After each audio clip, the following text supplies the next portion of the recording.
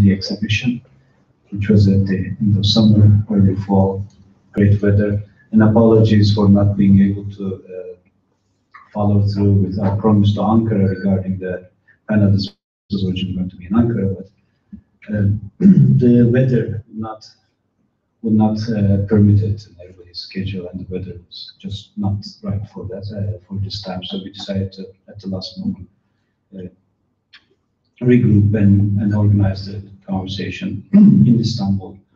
So as I said, this is the third of a series of conversations. Uh, the first one was with Ahmet Öktem, who's also the designer of the, uh, with the design of the exhibition in Istanbul, and also about the graphic work of the exhibition in Istanbul.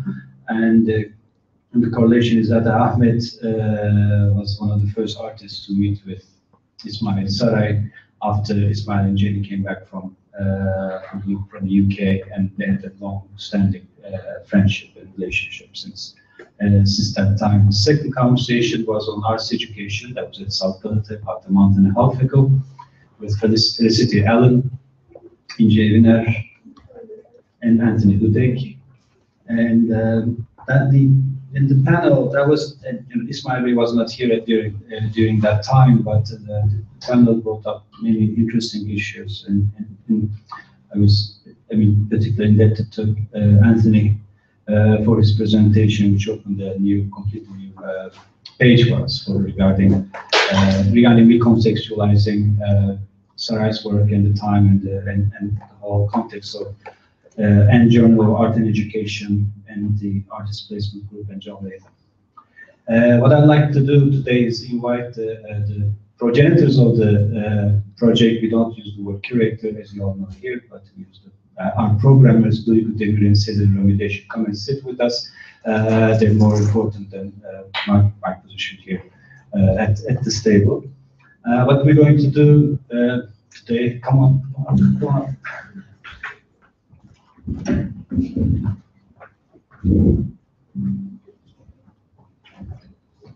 And we just had an article that came out, what, last month? In Art Margins uh, magazine on a particular work of uh, Ismail Bey. Uh, I hope you have a chance to, yeah, you get a chance to read it. Uh, so what we're going to do is we're going to hopefully start with Antony uh, posing some uh, questions and we're going to take it and this talk has been supported by the British Council Istanbul. Thank you.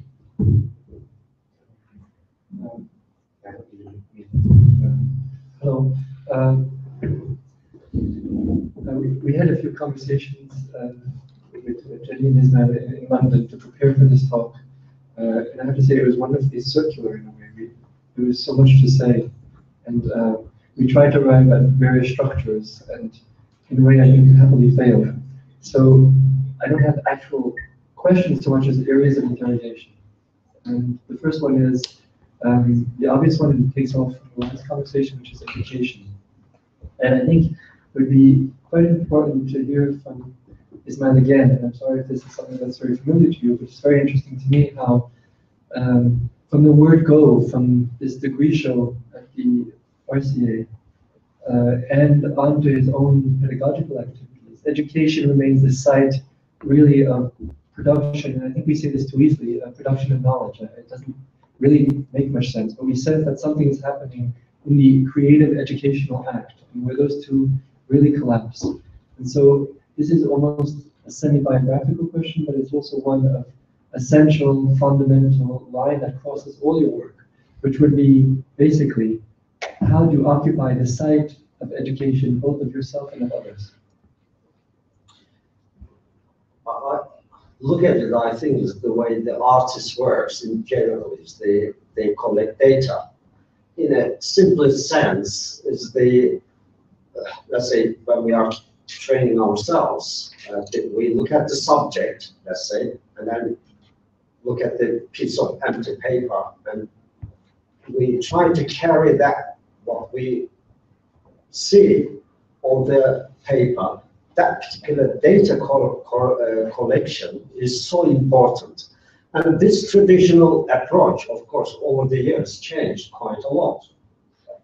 Data co collection at the end became a kind of a source to so complicated changes. Let's say, look at the uh, scenery, let's say, we are looking at the uh, nature, and that particular nature keep moving, how we can collect the, that changing data.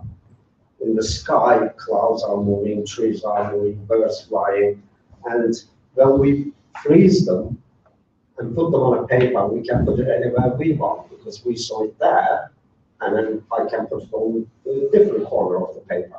That kind of thing is observation and practice is gave us a freedom and how we physically accurately make those data transfer. If we see a cloud, very tangible uh, object is when we are drawing with a pencil, and it is going to be that line of something. And like a know, fuzzy hair, it is okay drawing, but suddenly doors opens and closes and the hair moves. And then shall we write these little details and then redraw? Therefore, this kind of receiving information, perceiving these information, or cognitive understanding of the objects have to be, I really feel it's have to be uh, taught in the in a very basic sense in the universities or schools or kind of in life in every level. Uh, what is going on surrounding us. Therefore, I really feel very close to every professional person. Whatever they are going to do, they should kind of uh, understand what is surrounding them.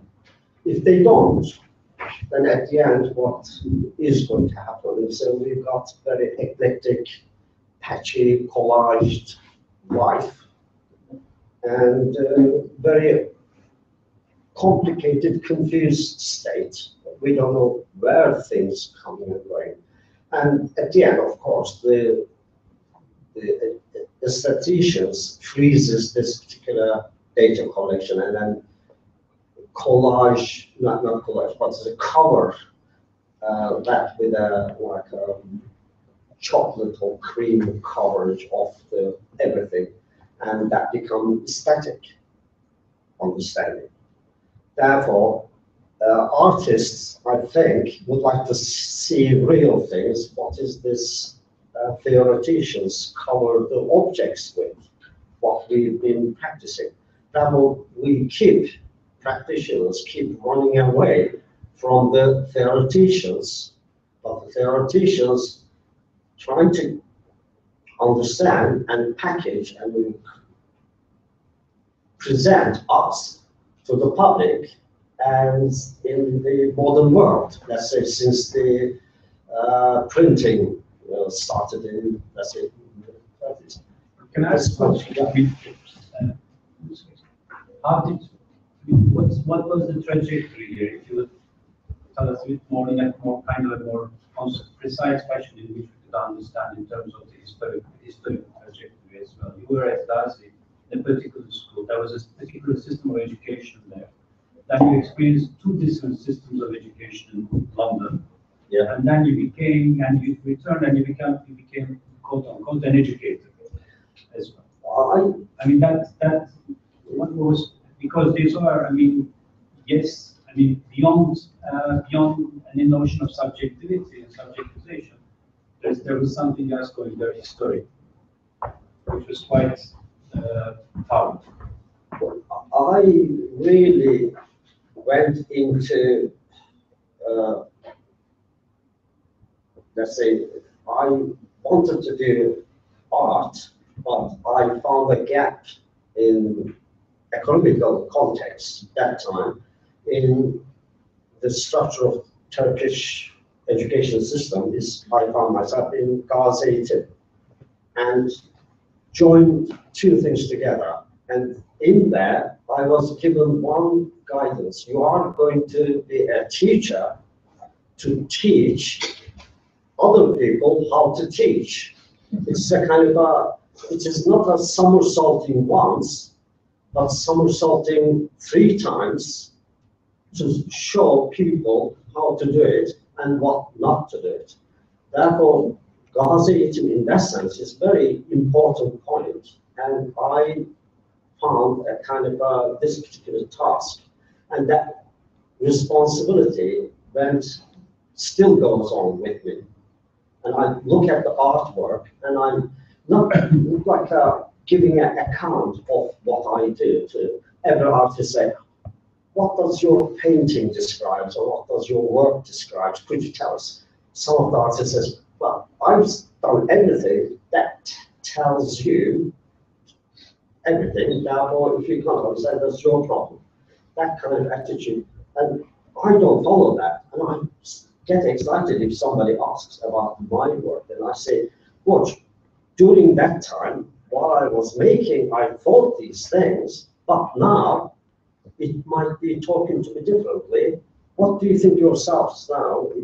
You are looking at this particular artwork first time, and then must be telling you something different now than if you had seen this work 10 years ago or a few years ago. And therefore, I look at the educational thing, and that's so important in terms of the understanding of the world, data collection, bringing these elements. And artist's responsibility in life also, which is not kind of, we are not living in a cage, gilded cage, which some artists would like to live uh, happily or that commissioned some of the Renaissance artists. They, of course, they hit their wings against the cage. It hurts them, you know. It is very suffering they cause to themselves. So to get, their intention wasn't getting out of the cage, but they, they are happy uh, to produce goods or the things he wanted or the other people. But education in that sense, I feel, is uh, core. And I'm not quite sure what the, today's uh, education in Europe, art education, and today's art education in Turkey is will bring to us. And I very much would like to see these issues coming up to surface.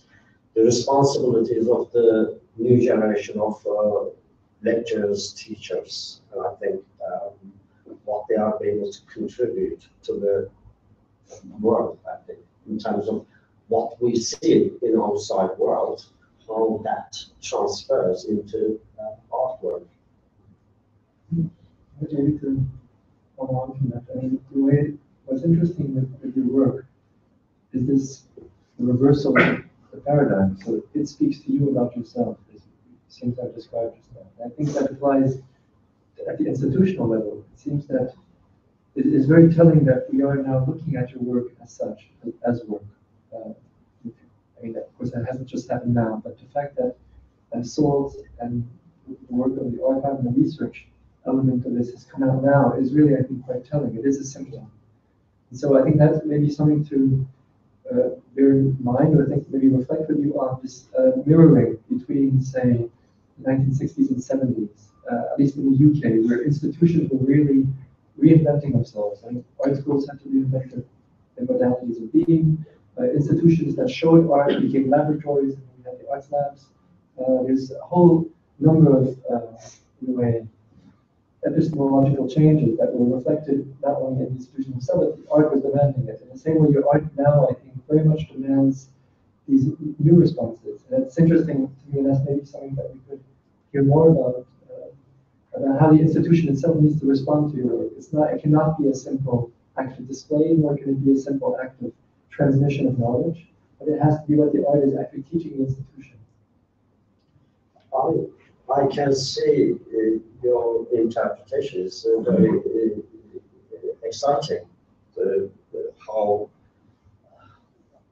one uh, sees in how I see myself in the art world.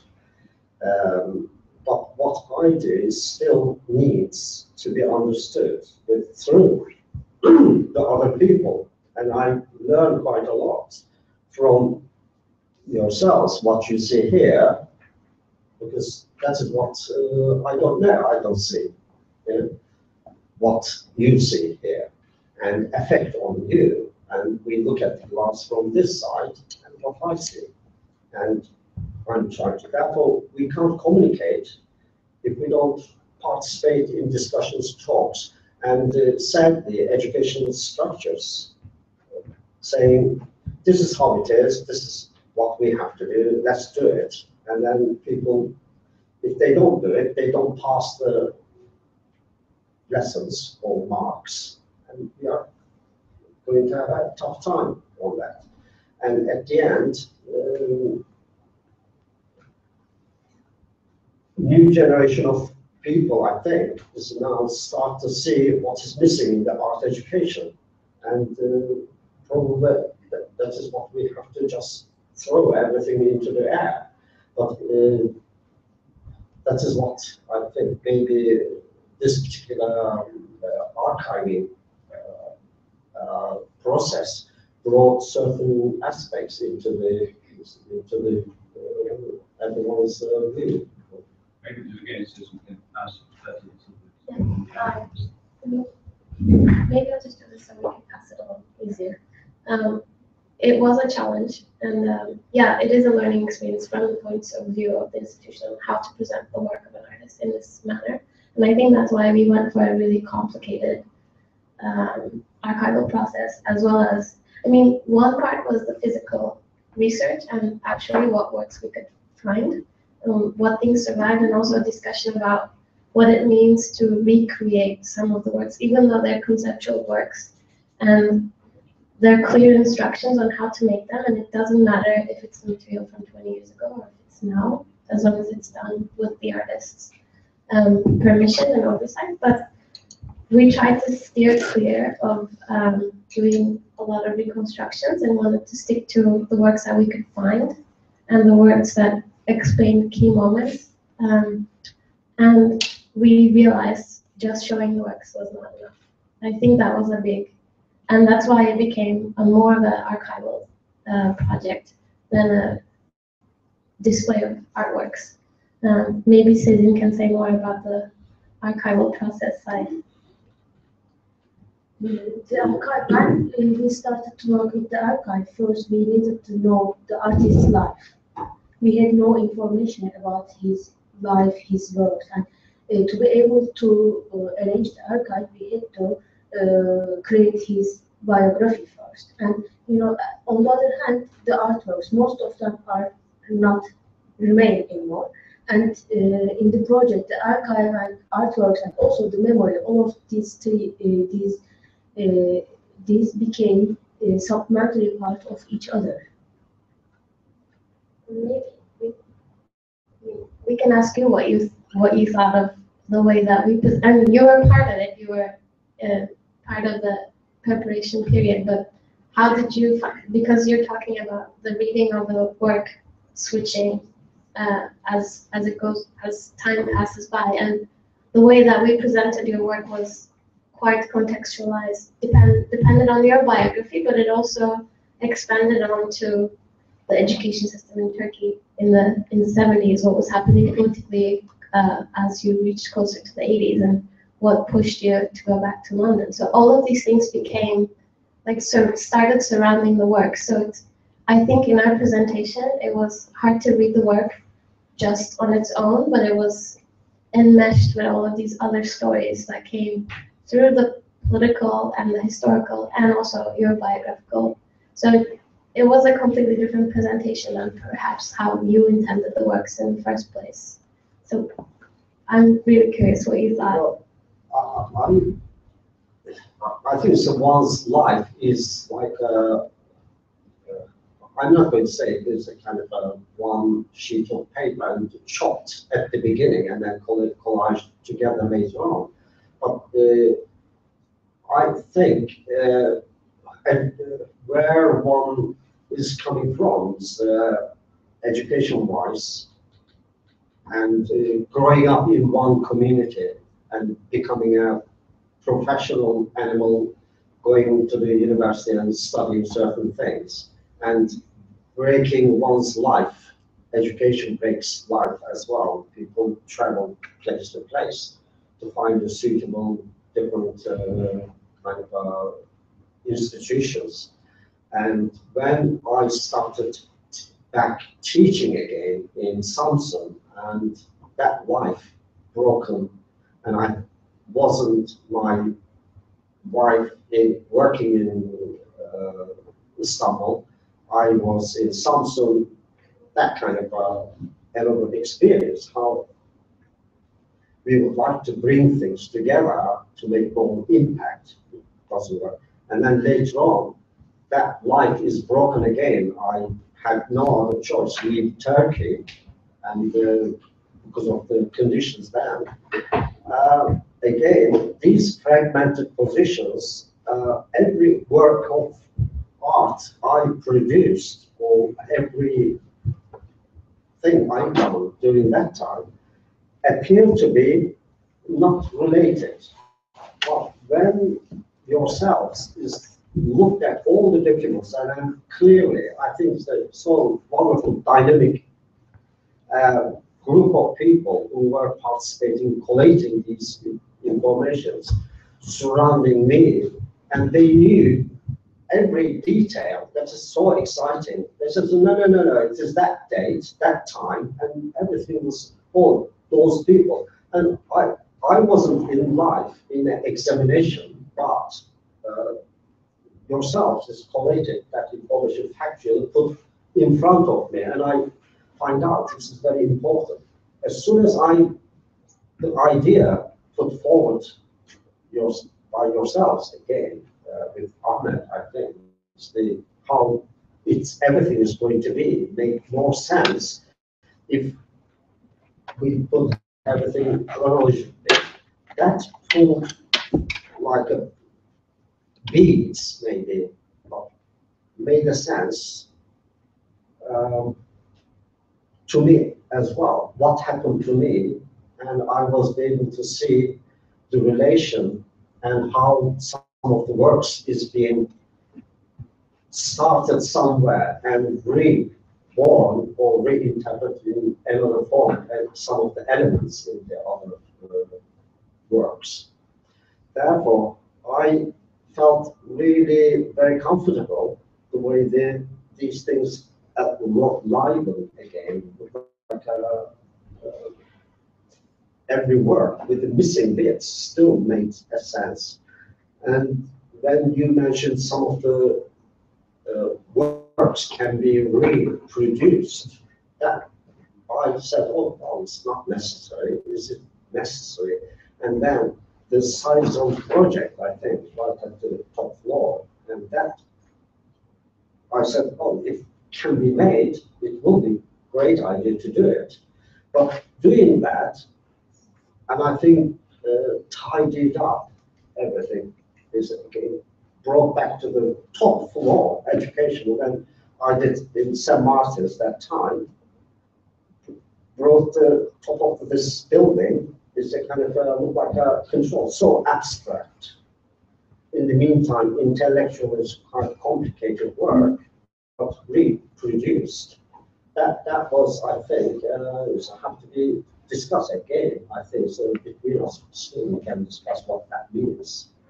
Therefore, we, we were working in that kind of uh, collective uh, process, which we presented to the other people, the visitors, in a way, the, this documentation. I hope, uh, as far as I know, it made quite a good sense, my thanks to some of the people which they can see works makes more sense if evidence is being surrounding them. And therefore it, uh, it uh, created a better, clearer understanding. Thanks.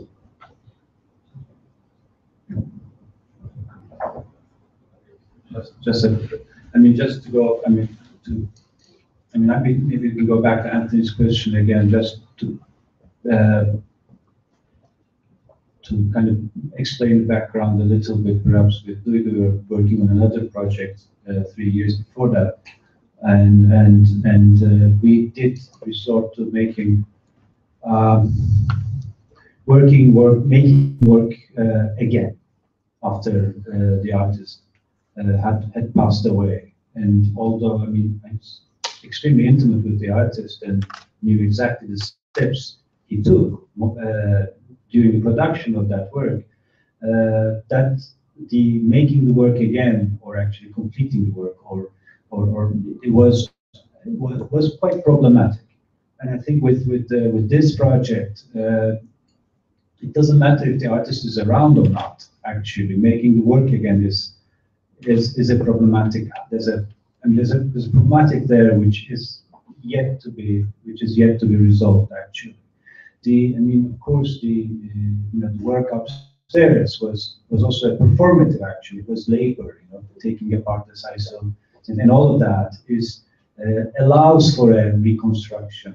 Although we did, you know, we did not. Uh, no work that was destroyed was completely remade in this in this project. We shied away. We shied away from that. And I had a little bit of unease with the exhibition from the first moment on.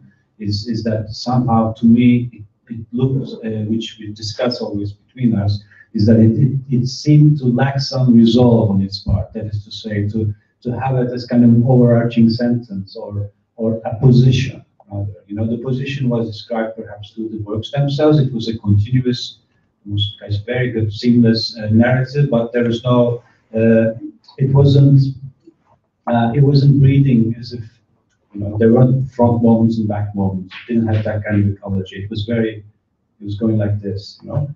And, uh, but at that, at the same time, uh, as you say, I mean, it's how to have to rethink through this without making, without inventing that moment. And then in Ankara, we, we did a completely different installation, which foregrounded the monument as opposed to the document, you know, uh, object, which is also, um, in and of itself, is, is produces a particular kind of uh, def deficiency because it wasn't, I guess it wasn't the works or uh, it was the whole story that you, you, you two were after, not did not this object or that object, with the whole story. So that that whole, when you do that whole story, there's a particular uh, uh, flattening of the difference between the document and the monument, between the story and the object, between this and that, which is, which I guess is understandable. Coming back to Antony, to your to, to your question, um, what was your reaction to the exhibition in, in, in that sense? I mean, how did you,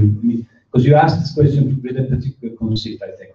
Uh, just that's one question. Secondly, uh, when you were here last, you talked about N magazine uh, and, and quite a bit, and you kind of framed it in a position where it was repositioning the 70s and the 80s uh, with some force, and we just bring it back, and that was also very. Uh, um, that, that fact was uh, kind of unsettling and quite interesting, and and that you had not known that uh, known about that before, or, or you hadn't crossed your uh, trajectory, although you are a, you know, you're a historian of exhibitions too.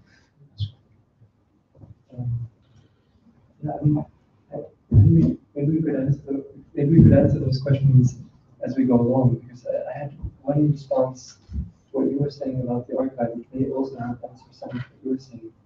Uh, I mean, in a way, what appeared to be very successful in the show, and which doesn't come what you were saying, was this, um, you know, the partiality of the, the archive. I mean, what I find quite interesting is this, again, these mirror, these mirror games between the institution and the archive that uh, institutes it. In. I mean, an institution depends on an archive. Uh, and here, this amazing archive, you know, the, the, you know, the bank has its own vaults that, in a way, it can sit on uh, ideologically and historically. And in a way, this, this failed to me uh, quite spectacularly and very exciting way. That is, it was almost an exhibition trying to produce an archive um, or visualize or illustrate an archive on which a future story or a story can sit in a way.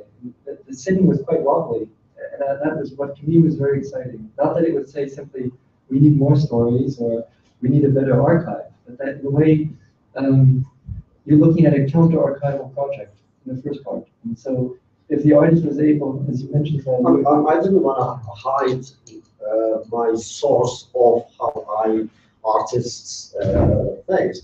And if, example, if somebody, the artist paints uh, one someone's portrait, and that particular person walks in, next stands next to the portrait, and that is the kind of thing I really like to see, the reality coming out of it and the source of the inspiration, source of the agony, pain shouldn't be hidden.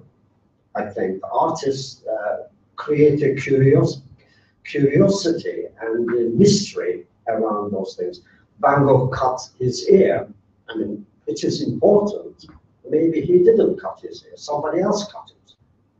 I mean, Paul did it, you know, and there's no evidence on that. And the two people's behavior comes to surface, we, we don't know how to handle. But if artist says, this is the evidence, this is what happens, these are the things motivated me genuinely, and I'm not going to hide it. This is how I cheated everything. This is how I, that time, to achieve something. Or this is how I begged or I really fought against all this sincerity within the archive came as evidence important. And I'm glad these things is being pulled in. Uh, uh, people here working like an army, you know, telephoning, getting more information from different places. And they said, we discovered this, have you seen this, this information? I said, no, that's oh, great. It can be included if they really think it just fits into the overall thing. Therefore, I, I had nothing there to say, no, no, no, please don't put out, it is going to ruin all my life, all my understanding of this concept of making art is going to be distorted now. Everyone is going to misunderstand me. But I didn't have that kind of problems. My, I didn't have that pressure on the collector's concept either. I didn't have any artwork sold exactly like, except one, mm-hmm. owned by the state. And that kind of thing, there was, I wasn't manipulated from a different kind of life either. People they says, oh, no, no, don't, please don't tell these stories relating to the artwork. Hangs in their living room, you know, or stands. The- The works, and I think coming to, with that kind of evidence surrounding that, is that only one thing stands out in my mind, is that one Kurdish woman is being take, going with her old traditional clothing, like a village woman, by the two Turkish soldiers taking, taking them. Man didn't know what to do with the woman. Should they handcuff, should they, they were quite a little bit, I saw that photograph, a tiny photograph, so I think it is inspirational, I said to myself, you know, it is interesting. These are young, uh, maybe grandchildren of this woman, taking her, for whatever the reasons, into uh, oblivion, into the world. That kind of evidence, lots of people might have hide. And I separated that soldier from that, put it into the society.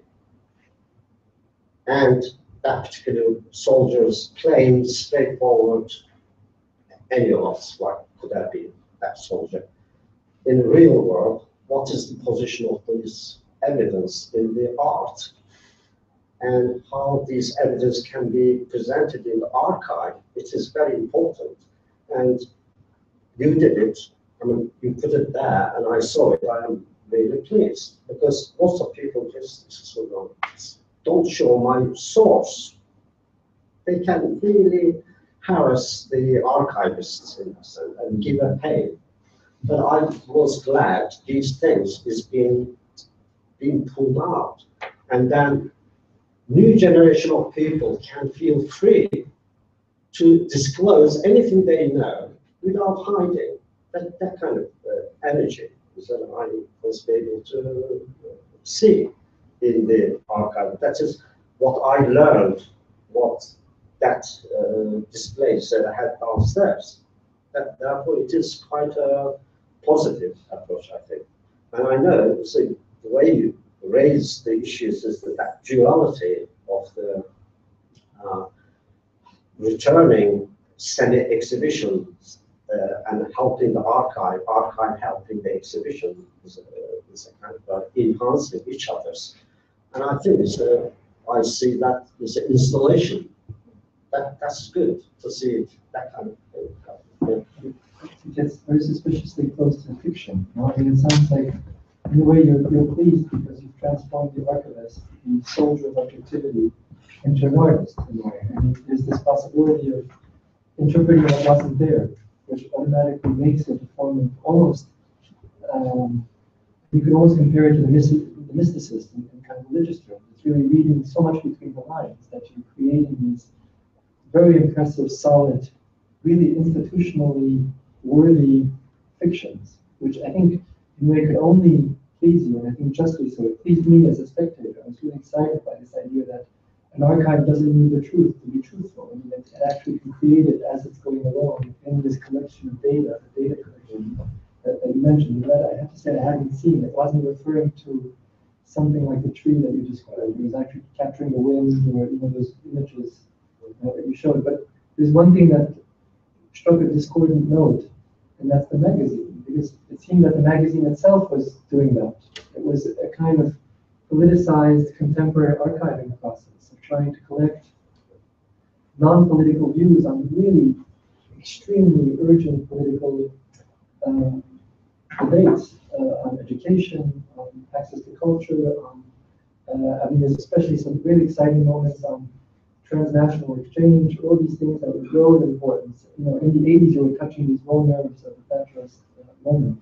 And so that's where I think the magazine almost opposed the archival impulse. It was saying that we were an archive, and that you can't touch anymore. I think it is, um, I'm happy raising the issues of magazines. The magazine is, uh, came out of agony, is uh, looking at it. Everybody here, let's say some people, I feel, would like to have some water. If I see people might be really would like to have some water, if I, nothing coming from them, and then if nothing goes from us to offer them a water, and that is uh, stupidity.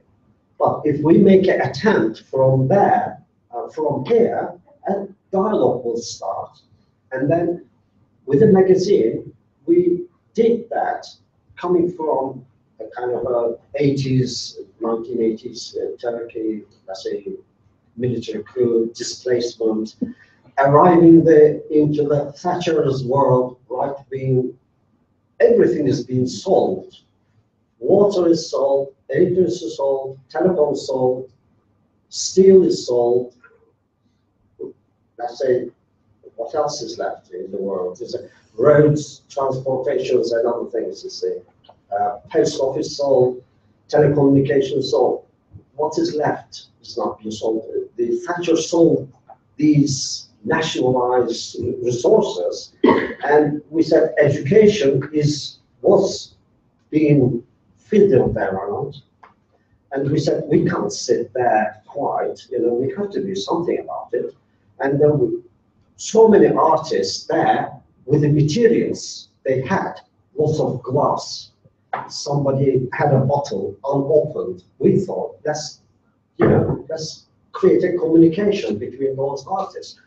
We said, we can do that. If you open this, I've got a glass, somebody else got something else we create a platform with a magazine in a shoestring without advertisement, without grants and other things like that. It's kind of, I know it looks a little bit um, complicated, but that created a platform and lots of people now, and I think if people look at that energy, is Turkey full of that energy. And I've seen uh, last three years, that energy I mean, whatever is happening.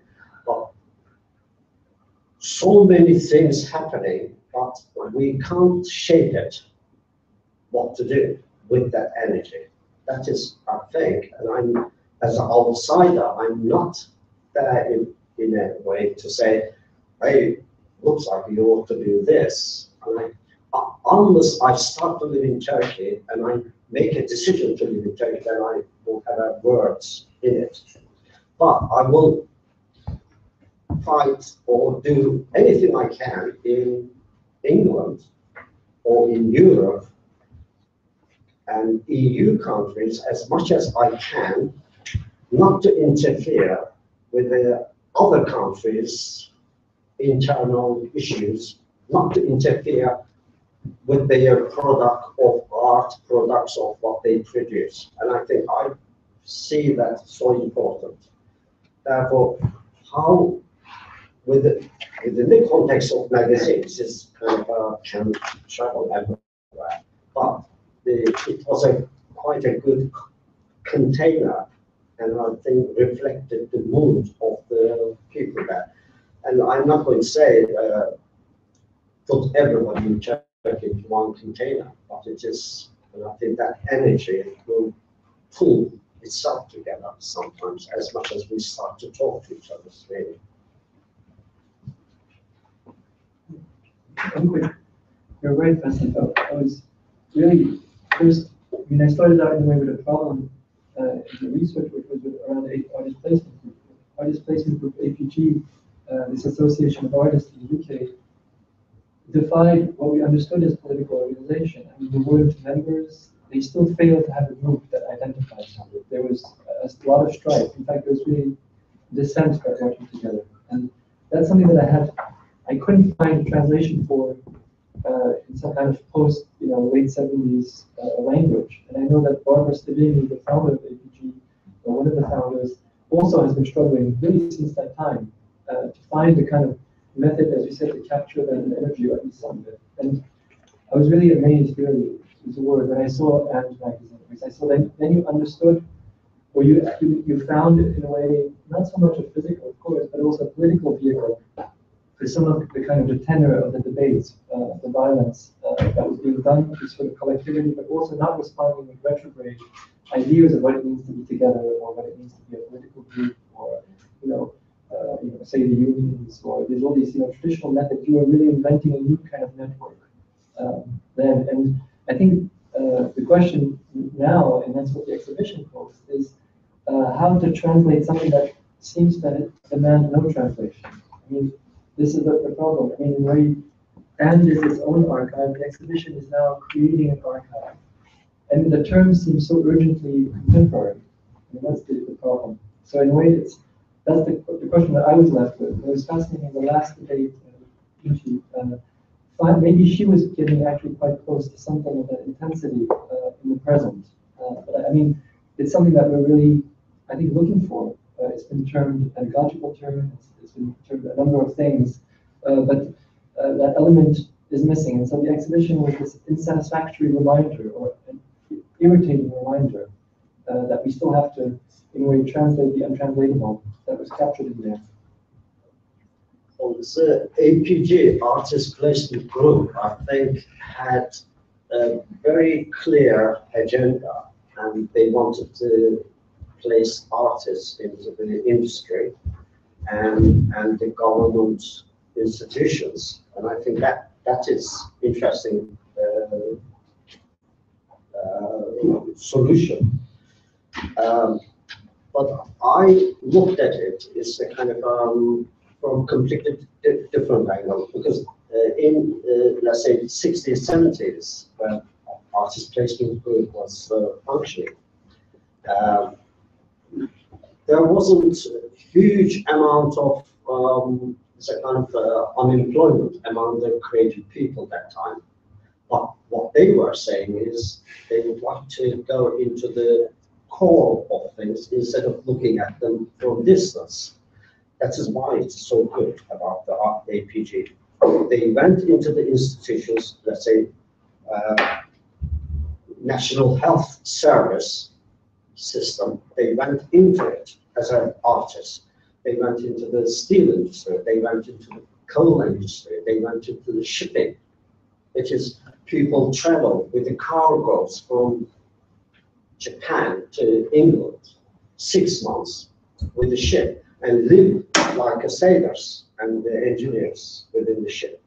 That kind of documentation, the data collection physically, it's not looking anymore, like in the traditional context of uh, artists looking at the nature and painting on a piece of paper or canvas. But these artists are went and lived and collected that, that data by living in it. Living not like a living like a lord or captain of the ship or captain of the industry, but living like a worker on the floor.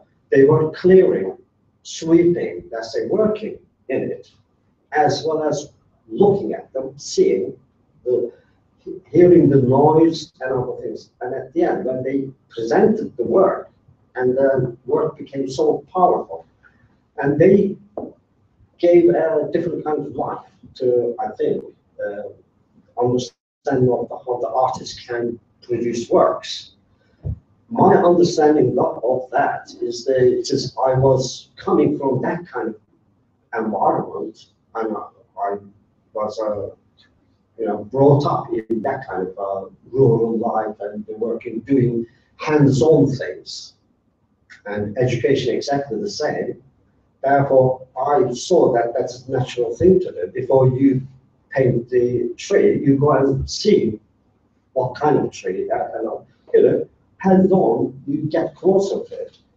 APG in that sense, one thing is missing in today's context is artist placement, is the financing the artist's time. Do you think the artist first should be paid and then do the work later? Or they do the work, let's say, few weeks, few months, few years producing that particular work, and then payment comes later from where it's going to come from and how much that should be. These are the things, and I discussed with the uh, John Latham, with Jenny, and myself. He said, Heaven. He said, watch, we have to sort it out these days. He said, you can't just go into the industry because you will be kept by the door always. You can't be in it. You have to talk to the trade unions as, a, as well as the management of the organization because you are walking into it. My artist placement, my concept of art placement is uh, natural. It happened when I went to army. In, I done my military service in Isparta. Everywhere smells roses, except the people elected from those places. They smell fat and nasty people. But uh, that kind of environment gave me a real insight to the military service, what it means. And I wish every woman in Turkey should go to army as well as if men have to go. If they are going to go, women should go as well. And I'm really strong. If woman is not going, once some of the national members of the, this society is not going, and one section is going, no, I'm not going there either. But, and I think that kind of things, we have to bring logical understanding. If we demand, if all the woman says, we want to go to the army, if my boyfriend, my husband, my brother is going to the army, and we have to de demand things in a way. It is not just, not because I'm trying to say to people to move into militaristic world. On the contrary, we, I'm trying to looking weighing each other's how we think the equality comes to surface. Making art in equal terms, we have to get this equal resources, time, and how we can achieve that in the artist placement concept is really um, these are very much discussed, there are so many unresolved things in it. Uh, but the payment of the artist is not concluded, still in the air. How much artists should be paid, and who decides that? And what about the expenses of it? And when we should go on holiday as an artist, do we? Do we have time or include, should it be included? All these other things. I'm very much now involved in England and Europe in these issues, on how artistic rights are, about five or six, seven outstanding issues. It is, whenever I talk to British, uh, let's say artists, they don't see any sense in it. The Turkish artists very much similar. Some, maybe I'm talking to wrong people as well, you know. So, but they are not coming forward, yes, what are these things? Let's demand these things and then write them on the wall. And then get these demands. And uh, I don't know how uh, those things can be achieved. But we go back to the economy again and survival of the artist. A artist placement group said their payment will be percentage of exactly what other people are having. That is what is interesting. What is the average pay in this, let's say, room or in this building or in one, let's say, NHS or National Health Service? If the average pay is certain amount, artist is going to be paid during that time that amount. And that kind of solutions they put forward.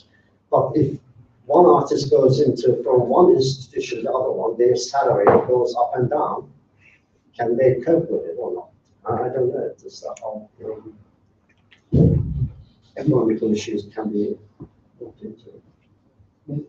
It seems I mean, to me, quite paradoxical what I just heard, because on, on one hand, you seem to have this kind of a formist drive, which is really quite impressive. You're saying that in a way you can speak to, say, Brussels, and there is someone, some authority to speak to, as if in a way from the outside. But on the other hand, it seems clear to us, I think, many of us in the art world, is that we're speaking from an inside, which is this kind of globalized, generalized, um, it's often referred to as the precari- precarious uh, society that we live in. And I think it was mentioned by Jenny just a while back, this kind of zero hour. We live all more or less by a zero hour contract, and you get your own pension if you want. Good for you. And that, in a way, was a model you could say, roughly speaking, inherited from the arts. And the artist has given a lot to society. One of them is the model of a precarious living condition. And that is what was given uh, very usefully uh, to certain corporate bodies to say that well, if you live and produce creative work in that condition, then presumably a typist and cleaner can. I mean, it's, it's kind of. So I, I, I'm just wondering about this tension, which, and I see this, uh, I wanted to mention this, I- work in a private foundation in London. And in fact, the architecture reminds me, in a very modest scale, has some, uh, you know, reference to this building we're here, you know, this magnificence of a kind of uh, found structure that's then turned over uh, to the creative needs or the research uh, of this creative. And I'm just interested in that it's the foundation, it's the private needs. I think, and this I'm generalizing, so I, I want to be a bit contentious, but thinking about in this paradoxical inside and outside, maybe the middle ground is where we're speaking now, which is this kind of you know hybrid construct that actually answers a lot to societal needs. But I'm wondering now how valid is this position from which we speak? Because uh, in a way, the artist John Latham, in his um, precarious life in South London, has become a generalized, glamorous ambition for a lot of artists. And what's stopping that? This may be one step too far. What's stopping that is the archive. The archive is what might give a home in a way to the artist. Flat Time House, where John Latham lived in South London, is now an archive primarily. That allows for some kind of survivability of a certain ideal. So I'm just troubled, I think, by this idea that you have someone to go to, when in fact you yourself may be the influence and inspiration for a lot of um, the fluidity of the economies that we live in.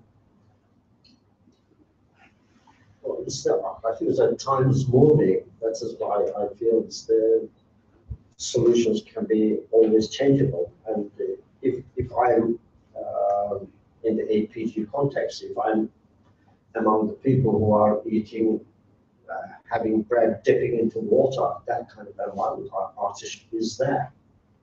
and artists, other people having tea and cake, artists should be there as well. Which artist is in the sliding scale, collecting data and presenting to the general everybody. And then how this data at the end brings the society flow among each others. And I think it has that kind of function. That is how I see it. The APG, Artist Placement Group, is, makes the world much natural. It doesn't matter, we can be really on the very tough conditions as well as uh, comfortable conditions. Therefore, it's a archival thing. If it freezes, we don't recultivate. Look like a handful of wheat. We can freeze that and put it somewhere. It's not going to be cultivated again. Different soil and grows better maybe than before.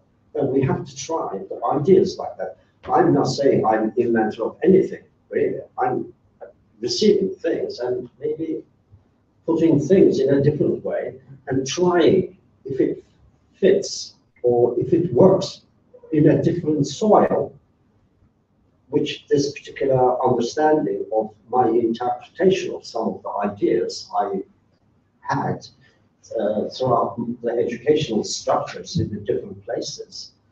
And I came up with different elements, which uh, is quite unique, exciting. Therefore, I liked it, I enjoyed it, because the things I've done in the tough times of Turkey, let's say, it is not easy times. And uh, I'm not saying enjoying, but I'm seeing something which never can be done before because it is being done. Because otherwise, the, the, we become like a normal, um, it's a opposing artists, not analyzing artists, opposing artists. And I think we should be looking at kind of like bringing new, searching new ideas, bringing new solutions in that sense. And uh, probably uh, we are going to go and uh, look for more ideas. That is why I would like to see the uh, from the from Turkish uh, side of the maybe not Turkish side, Anatolian side of the world, the people who are uh, producing works, seeing each other's, and I think, and I would like to see people producing works in every part of Anatolia exchanging these works instead of just putting our heads into the same bucket of water. It- It's like Istanbul is very much like that. Ankara is like that very much. Everyone wants to go into the same area, wants to show something, and then lots of people coming to England as, oh, I, I had a show in England, here it is, or France and other things like that. She is not that, but people, they haven't seen it anywhere else in the rest of Anatolia. But before anyone see in Turkey, is, uh, they are looking at it as showing it somewhere else. And I have that commitment, It comes from the educational structure I was brought in. Because I was, I came from Kütahya, went to Ankara, Gaziantep, and then went to Diyarbakir to teach some people who can't speak uh, Turkish because they are uh, speaking Kurdish at home, at wherever they are living. That, that kind of environment made, made me to understand, ah, there are different world, different people. Therefore, we have to communicate within that level. We can be stronger, and I think brilliant, committed artists here uh, in this part of the world. And I have seen several works, I think, my, during my visit in South Bill and, uh, let's say, other galleries in Bill and here as well, in this building, uh, interesting, exciting works brought in to see other things happening in Middle East and different parts of the world. That is, and I think is crucial to a little bit more stretching the boundaries.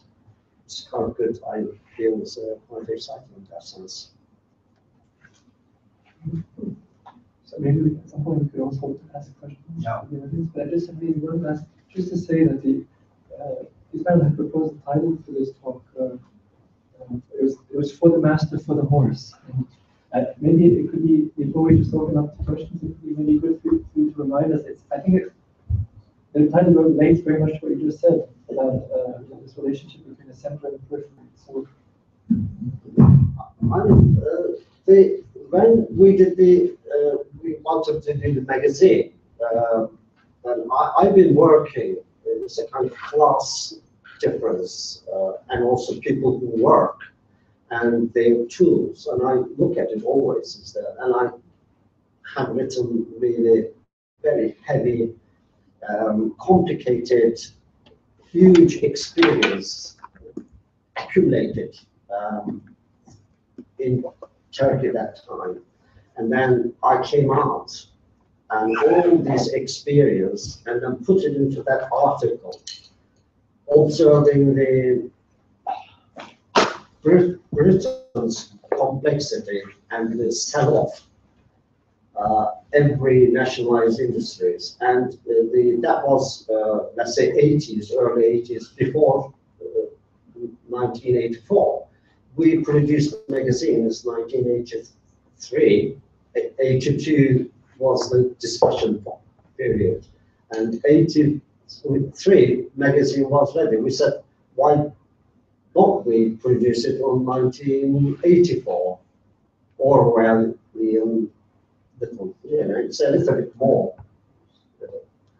Could be another point where you started something. That time I had pulled in all those informations into that particular article. Uh, it, we discussed uh, every contributor, uh, the editors involved should put something in instead of editorial uh, guideline. We introduce ourselves, what we are, with putting our own works in it, not in the rest of the magazines. But uh, it, it would be quite a good idea to do that, and we, therefore I poured it in. Illustration on that, and I used, uh, I made an artwork, uh, two buckets of water, put it on a stove, just a dishwasher bucket. And uh, one of them is hot, I call that for the master, efendiler için. Uh, the other one's uh, another, exactly the same ball, is uh, cold water for the horse, art issue.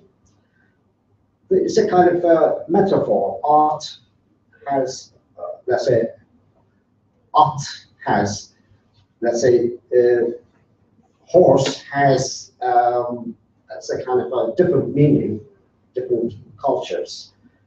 But in reality, art, uh, let's say, the horse was carrying the effendi or master.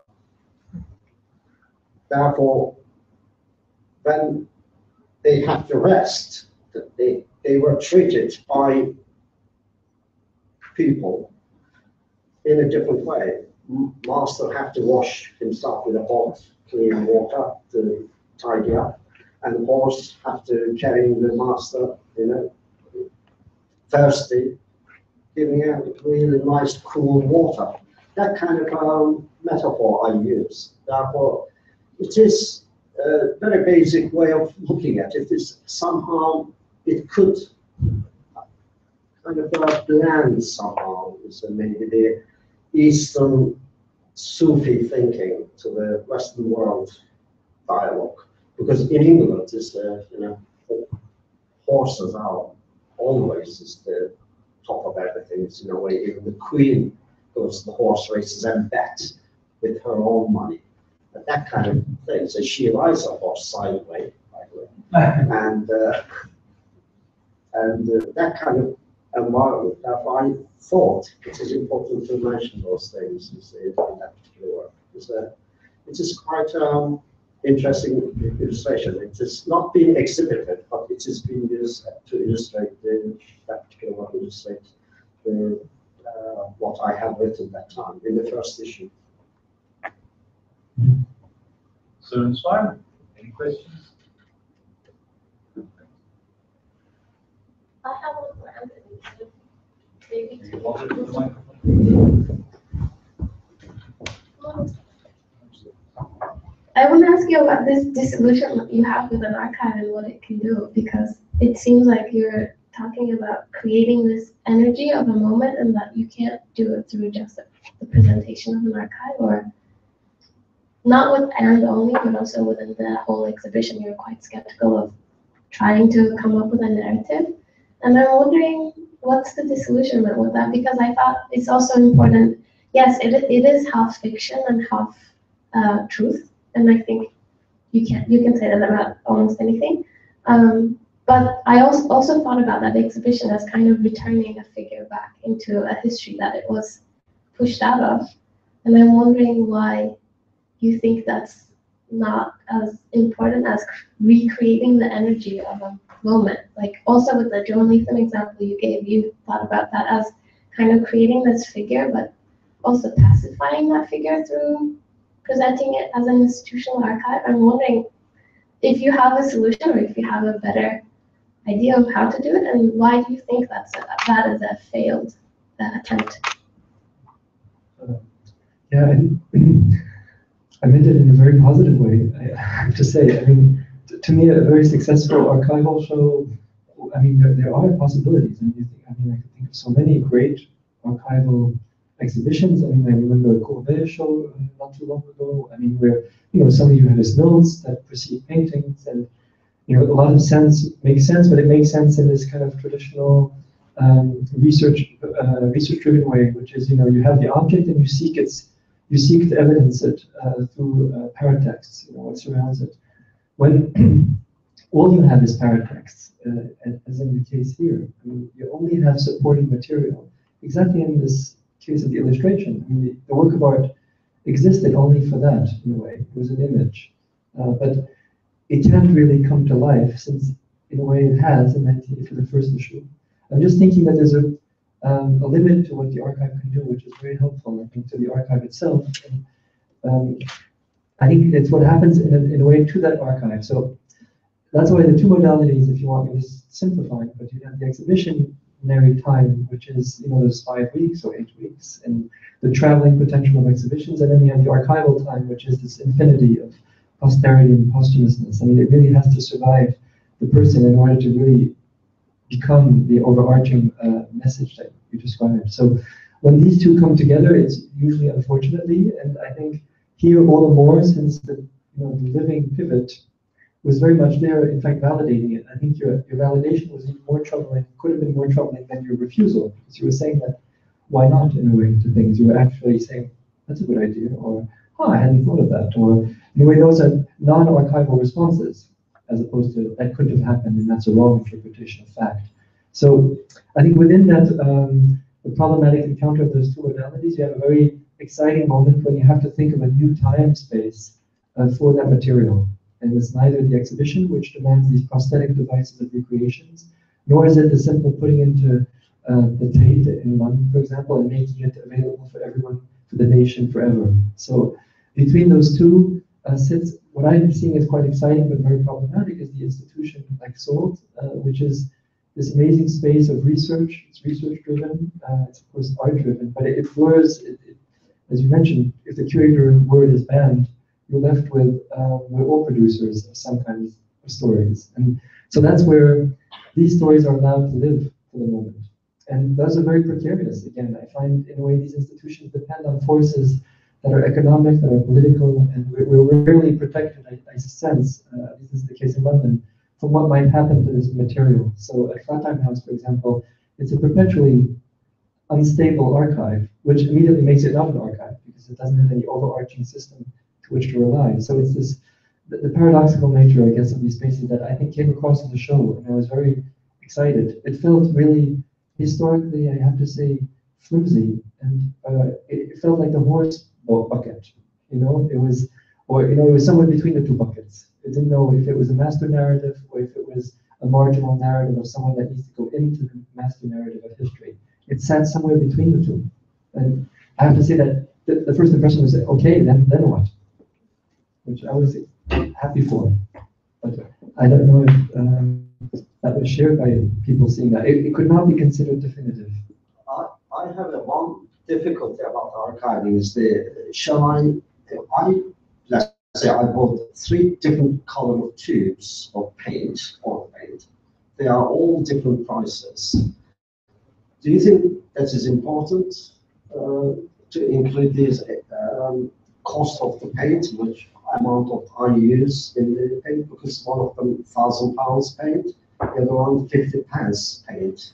You know, this is artists economically, they can't cope with it with certain things, leaf painting everywhere, leaf. And there are some artists do that, you know, make it work attractive and goes acceptable. Archive is some of the, at the background information, some of them is, uh, it is not mentioned at all. And did, what kind of, uh, you know, room heating arrangement the artist had, freezing cold working environment or very comfortable hot environment.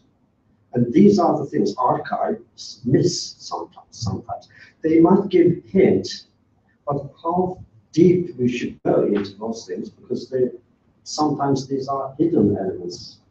But I think so. I'm not quite sure. There's uh, uh, certain issues can be raised, but I'm interested about uh, what yourselves will say because I bet there are lots of questions back of your minds, but the artwork and presentation of it is has complexness in that sense. Um,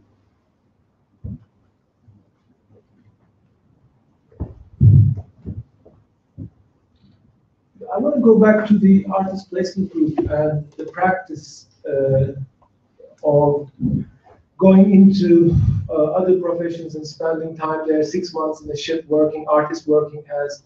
This reminded me of the more kind of 70s leftist activist practice of actually joining the proletariat or joining and being part with them.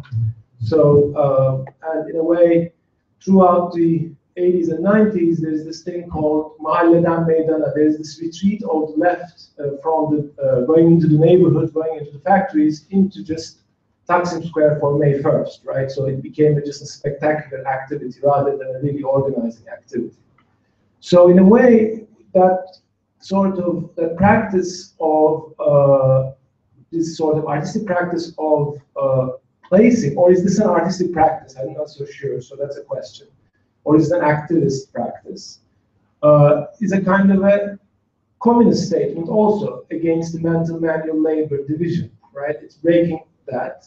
Uh, so when uh, when you go into when you when you were placing an artist, is there an expectation that the artist also functions in other ways than just being one of them, right? For, for instance, sort of talking about Lenin's sort of revolutionary theory or imperialism or, or something else.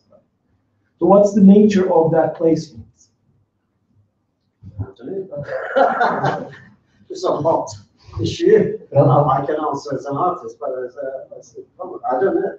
But I just want to introduce one term that comes from John Latham, which was the, the incidental person. So it was not at all joining the ranks of anyone, be it the proletariat or the corporate class. It was very much retaining the identity of this individual that at first was not even the artist. Eventually, APG allowed the idea of an artist to emerge, but it was this incidental person that comes in and can go out. I think that was the novelty, I think, of seeing, and of course, from the left, that's been attacked very easily. You can say, well, actually, that's a complete compromise and uh, a sellout.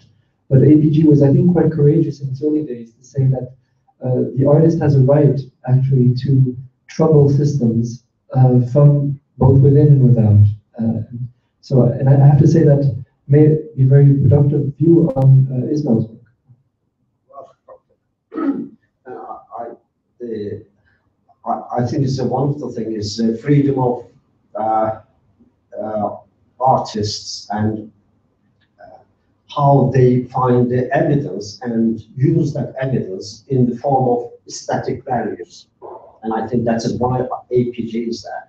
But the 60s uh, brought much earlier as well. And the type of, let's say, look at the Dadaists and other things, it's a reaction, so many other historical uh, elements in it. I don't want to go into that much back. But what the sixties had is a disturbances within the movement, within the uh, creative people, let's say, and also youth movement. And after the war, sixties heavily is the Americans' domination of Vietnam War and the Red Scare issues and other things like that. The Cuban issues and other things going on. From those things, we thought instead of somebody telling us the, you know, on the papers and private papers, and the artist has their views, they would like to go into the core of things. In England, military service is 60s disappeared as well, middle of 60s. That's another interesting point. Those people didn't go anymore. Men didn't go to the uh, military service. They stayed out. They thought they can say no to military intervention to the other countries in that sense. Therefore, production of, uh, if we say no, means do you know anything about something? We don't know. We ought to go into those positions to collect information and produce things. Uh, going into the steel industry, and one thing in the steel industry, and I think uh, artists are is quite aware of the. It wasn't just kind of a steel comes out. Steel is hot. Steel factories are hot places, and steel factories are huge, noisy places. But in the painting, you don't see those things. And artists at the end came up with these findings to give a feeling of those people who never had such an experience. Their parents comes home with the cold black faces, you know, you know, hands black and everything. So they go and wash and dress up nicely, clean, white t-shirt and go to the pub. It's just that kind of environment. Therefore, how artists can participate, which side of the story they should, let's say, paint the, let's say, um, minor black father coming home like that, or dressed up father with a white shirt and other things like that. They want to go into where the things happening to collect the information. And I think it wasn't uh, ra radicalism. Yes, there are symbolic elements in, within the um, socialist movements. Let's go to the factories and the lunch breaks. Let's play theater and other things. Yeah, but it, it is some workplaces can accommodate that. Some workplaces can't. Some in the middle of football match, you can't stop. Excuse me, that's you know, I'm going to be stopping as an artist stopping football match in the middle of that and uh, do something, paint something or produce a performance. And therefore, every issues have to be looked at individual. This is what's so exciting about it. And uh, therefore, it's a, I keep that in mind. Is the it's a kind of futuristic approach was part of not to intervene other people's businesses by force, but arranging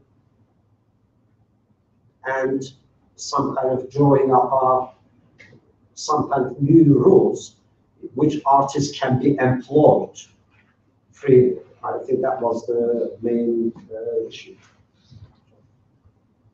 I guess just to, I mean, to add to that, perhaps, I mean, there's a whole legacy and a history of artists being placed in uh, in different contexts in extraordinary times, such as war, the work, you know, WPA, uh, States, there were Soviet experiments, and there's there's a, there's a lot of that, and, and in, in, Turkey as well. I mean, it wasn't only the artists that were going to uh, to the countryside to paint the local colors, etc., etc., but they were also going there to uh, to draw the factories and photograph uh, the new sugar factory, which was you know that was that would be built, and etc. I mean, there's a whole I mean, that's uh, that's kind of a partial role, which is a which is apparently a, a, role, a role that you would describe as kind of a workforce, you know. Uh, and then, as, as a result of that work, you come back to the center, home, wherever it may be. You present, uh, you repre- you present your representations of sorts, you know, I mean, that's your role, and you usually present it to the, uh, you know, to the bourgeoisie, to this, to this, back to the system. It's a, it's a way of feeding and securing the system. That's, so it's, it feels good at the end. But, but my question with all of this is that, I mean, why do you start with the pre, and it's this kind of strange understanding that art has anything to do with work? That, that it can somehow be kind of quantified as such, you know? And that was, uh, maybe what APG opened up, I think, because they were allowed and paid to do nothing. I mean, that was the, so they were allowed to quantify not doing. And I think that's what maybe differentiates these histories from, was it was inaugurating a new class of creative agents, which had only to be creative, but that creativity could take a, a, a non-form, which has always been derided. And of course, we always, uh, I mean, like the traditional trope of the um, you know, the lazy, the lazy uh, creative, I don't know what, the, the non-productive agent of the artist was really confronted there by saying that actually you have to remunerate uh, apparent not doing, and that that doing has to take different forms.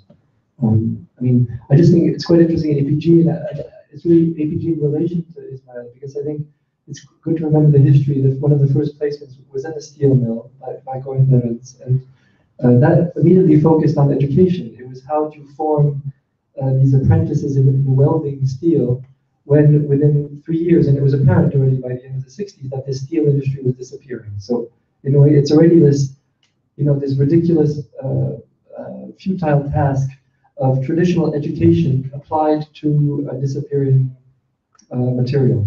Uh, a disappearing class. The, the working class in those terms was about to go and would have disappeared absolutely under under Thatcher, you could say. And the, one of the final placements uh, by Stuart Brisley was actually the creation of an archive. So in both cases, you understand this prescience of a, of a group that was really trying to quantify and qualify the artist's work. And creating an archive, creating a memory, was seen by Stuart Brisley in the late 70s as, as really a creative act that deserved the, quali the qualifier of labor. So I think in İsmail's case, it's maybe a question of those strategies, but applied to maybe the um, more complete disappearance of the understanding of, of work as such. I think that's what really is, you know, the blending, this progressive blending of creativity and work uh, may have just uh, exhausted the, the labor. I mean, this is, I mean, I'm, speaking out loud, but there's something about what I saw in the show and what you were doing that through education, you could maybe reconstitute an idea of work uh, that could demand its own forms of remuneration, which could be mostly and could be financial, but has other forms of retribution. Uh, and I think that's what's at stake, what I saw at stake a, a lot in, in, the work uh, that I saw here. That is what you do in the absence of work, in a way, and you know how do you fill that gap, uh, and how do you remunerate? How do you identify financially, for example? You know what value system do you apply to this disappearing notion? I don't know if that's accurate. That, that, that's quite uh, clear, I think, to me. It's just uh, what, I look at it also is the um, what happens to the let's say uh, any any person's finishing the fine arts course as a painter, sculptor, and any other medium. Uh, when they finish the course, they find themselves in the street. Let's say, just let's say, look at the academy here, and uh, when I finish, let's say, this college in academy, and uh, I'm outside of that particular door. And then what happens? Where do I go from there? And this particular schemes is being worked on quite a long time by lots of different artists, all the time, still going on. APG was part of Artist Placement Group. It's part of that kind of solution to look at the artists going into the industry without any preconceived idea. That was incidental person issue concept. Without thinking first, I'm going to do this and this. There's no preconceived ideas involved. That is what's so exciting about it. And uh, still we haven't solved it. And in which way we can create new solutions in, let's say, in Turkey or Europe, England, or America, or other countries. And we have to bring different solutions for those people.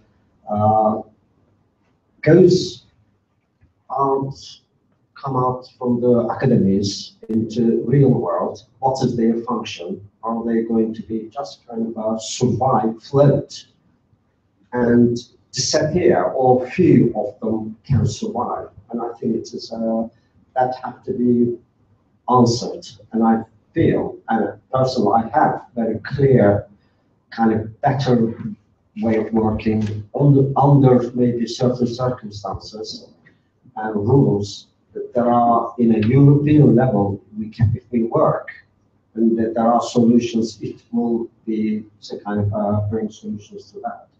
But uh, I think you have uh, tough years ahead of you and educators, people working in education, and also the students within it.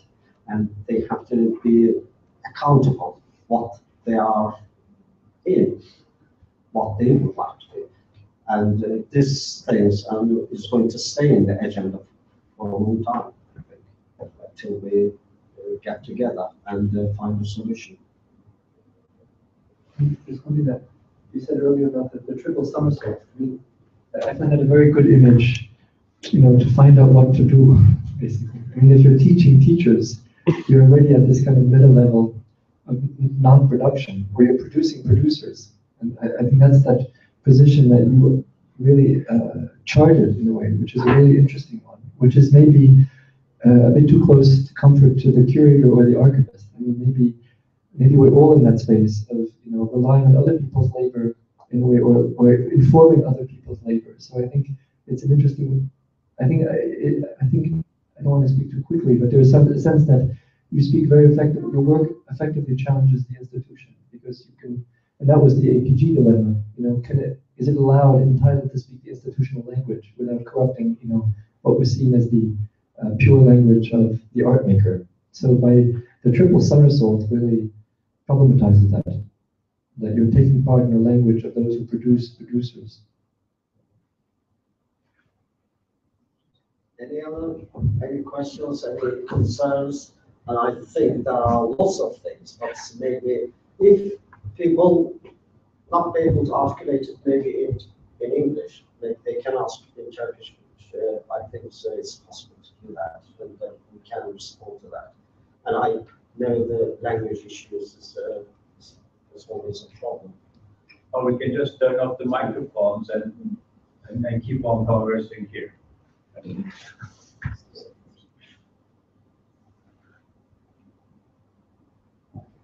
But- Okay, thank you, thank you all. Thank you, İsmail Bey, thank you, Antony, Susan, thank you, Lucio. Thank you.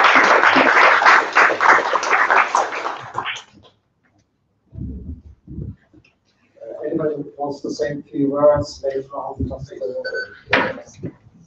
you'll have a check with the